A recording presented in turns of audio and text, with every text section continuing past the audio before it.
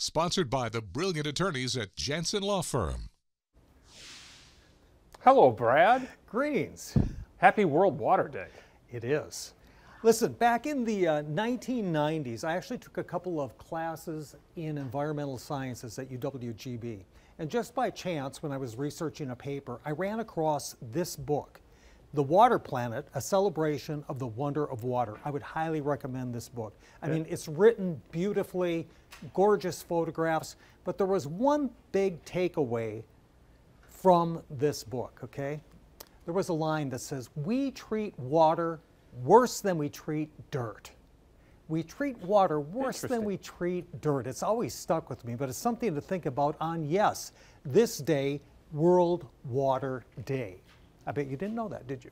I, I didn't until you told me. it's been celebrated worldwide since 1994.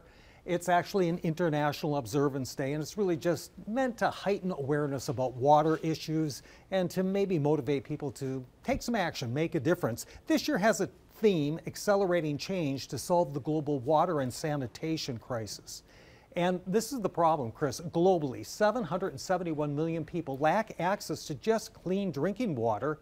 That's one out of 10 people on the planet. I mean, in this day and age, why? Why? There's a number of reasons, actually. Climate change and natural disasters are linked.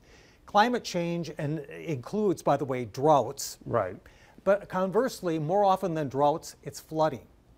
And the problem with flooding is typically other water sources that were somewhat reliable become polluted because of the flood waters. Okay, so yep. war and conflict, well, you know what that leads to. And then there's wastewater, which is water we've used, worse than dirt.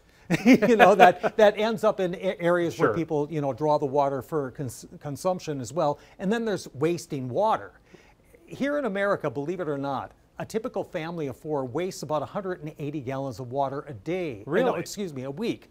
And that's from maybe taking longer showers or letting the water run while you're brushing your teeth. Or doing like the dishes and just or letting leaky, it go, not turn it off. Yeah, or leaky yep. leaks even, sure. you know. So there's a lot of things going on there. But when it comes to wastewater, this really is troubling. One of the leading causes for many of the world's most pervasive diseases, cholera, dysentery, typhoid, polio, even diarrhea. Diarrhea kills 2,200 children every day worldwide. That's more than AIDS, malaria, and measles all combined, and it's because of lack of access to clean water. Now, I know that this all seems so far and so removed from... From, from us. Exactly. Right. Because as we've mentioned many times, we're in the OPEC of the water world. 20% of the world's fresh water is right here, and here in Wisconsin, particularly, just around every corner, right. there's a little puddle somewhere. But I just wanted to kind of maybe help raise awareness a little sure. bit on this day, World Water Day. All right. Well, Brad, thank you very much. Okay. We'll see you again tomorrow.